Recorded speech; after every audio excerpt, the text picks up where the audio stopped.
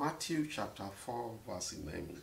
Then the devil left him, and behold, angels came and ministered unto him.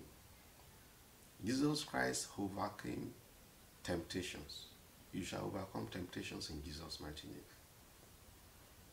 Jesus Christ defeated the devil. You shall defeat the devil in Jesus' mighty name.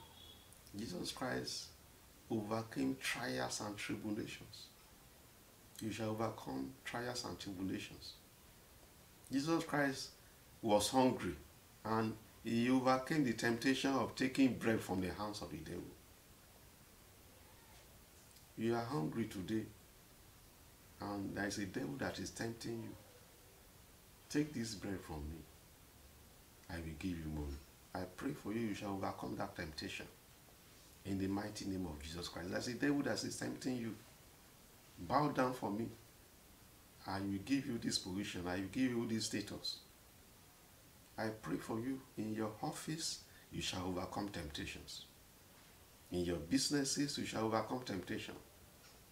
If you're a lady in your office, do not snip around for promotion. That your boss, your supervisor that is tempting you, tell him to back up in the mighty name of Jesus Christ. And what did we find?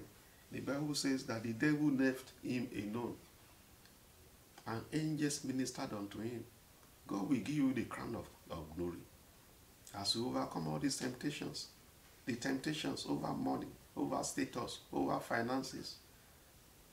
Don't anything that you get that is not legitimate and legal is is false. God will give you the crown of glory. Angels will minister unto you. They will minister goodness. They will minister mercy unto you. Angels will minister health. They will minister promotion. They will minister divine protection unto you. That shall be your portion in the mighty name of Jesus Christ.